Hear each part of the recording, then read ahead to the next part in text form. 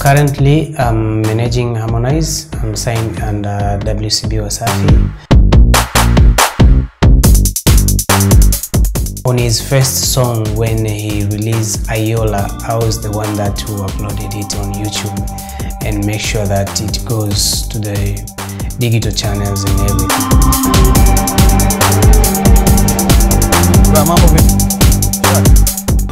My name is uh, Joel Vincent Joseph, also known as Mr. Puaz.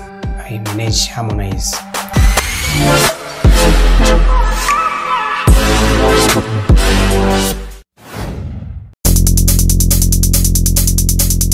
My name is uh, Joel Vincent Joseph, also known as Mr. Puaz. I'm a Tanzanian. I used to be an artist, but right now I'm a, I'm a talent manager. So currently I'm managing Harmonize. I'm signed under WCB Wasafi as one of the managers, but specifically I, I, I manage Harmonize as an artist. On his first song when he released Aiyola, I was the one that who uploaded it on YouTube and make sure that it goes to the digital channels and everything. That's where we, we started working with Harmonize, but not just as a manager, but as a friend. And later on, we, were, we have been so close with the WCB Wasafi, with Diamond Platnumz and the rest of the team. And Harmonize has been also asking me uh, a lot of time, like, bro, I have this song. What do you think? Do you think it can it can be good? And then I I always gave him an advice because he's my young brother and he's he's you know trying to push his music. Uh, this year, early March, we he called me and say, you know, Joel, I would like me and you to work together and you be my manager, and then we we take it from there. So what I do exactly for Harmonize is uh, managing all of his things, his music career, music distribution, trying to have strategies for his music and trying to take him from the level that he is right now to another level. I wish ingekuwaga mavumba kwanja manoti And the project that I started with with Harmonize was um, Kwangwaru, and I thank God that it did so well. Until now, it's the number one song that everybody's singing from kids, um, normal young age to the old people. They're singing Kwangwaru, and then uh, we, we were able to work together and put that song into a level whereby it reaches um, 10 million views in just one month.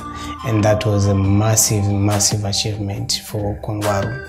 And then we we did uh, DM Chic uh, Sako D that's the second project.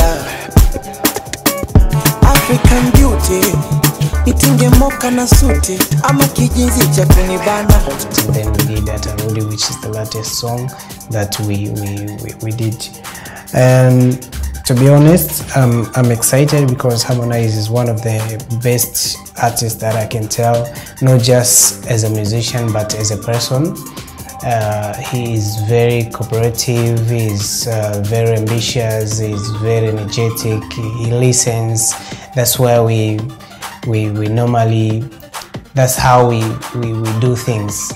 Uh, we, we got this kind of connection that makes us very strong in terms of making judgments on the staff or in terms of coming up with the strategies but also the whole team of Wasafi WCB starting from Diamond and other managers Salam Babu Tale. That's how we make things. Why I became this uh, kind of uh, manager to Harmonize before I used to be a, a dancer. I started as a dancing person. I used to dance at uh, Arusha. I get paid like 1,500 every night. And then I felt like ah, I can do more. Then I went to the studio, recorded two songs. And at the same time, I was DJing. I was an MC to weddings. So I've been doing a lot of entertainment stuff where it got me uh, an interest and learn a lot of things about uh, entertainment.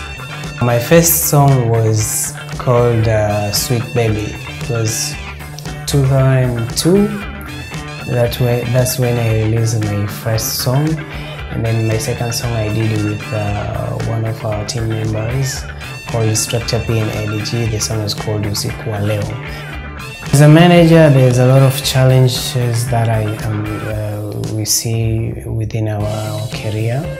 And one of them is uh, an artist being uh, sometimes they're being annoyed. That's very normal.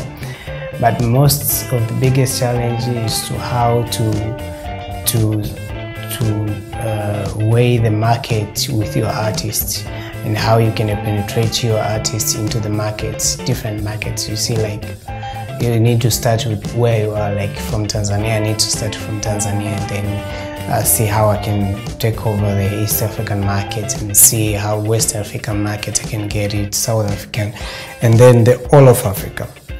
So that's the biggest challenge that we, we, we actually face on how you can create those connections and be able to uh, to penetrate your artist's music into into that market, and that is the biggest challenge.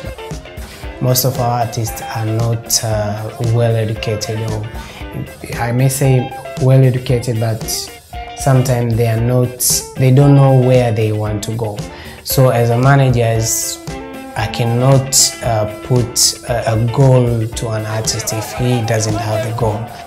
I'll see myself with the artist that I'm with right now harmonizing to very next level see him getting some awards, even myself getting an awards for being a good manager to to harmonize and not just harmonize but the whole team in WCB uh, WCB Wasafi. So there's a lot of things that I still need to do, a lot of things that I still need to learn to get to where I want to get.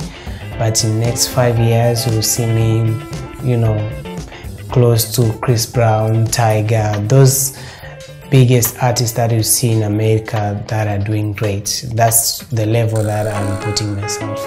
To the young people, right now, there's a lot of opportunities, especially to the music industry. There's a lot of talent, um, young, young, uh, young age that we see right now. A lot of creativities, but they they lack on. Um, how they can do things. Before you become a musician, you need to be a business person for, for that career.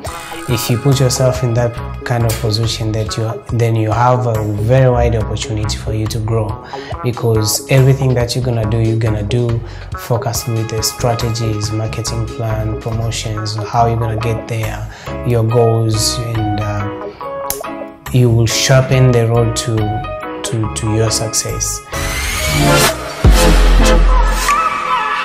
We'll be right back.